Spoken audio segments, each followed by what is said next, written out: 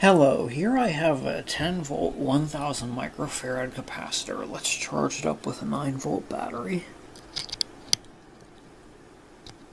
Alright, that should be good. So let's stick an LED on it and see how long the LED stays lit.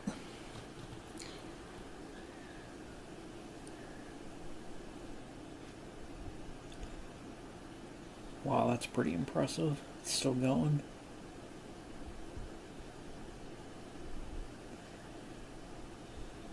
Still lit.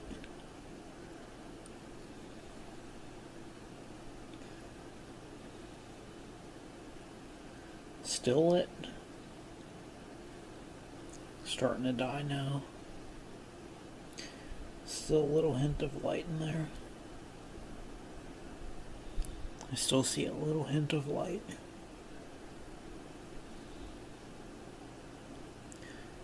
Still a little hint of light in there. And there, it's completely out.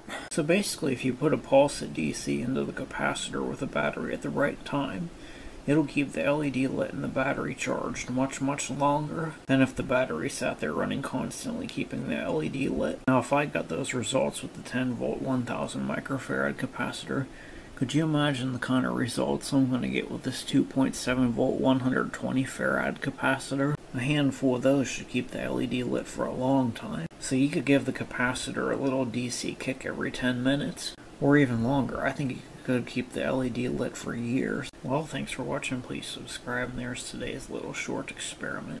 I'm still waiting on the rest of the parts so I could build my guitar.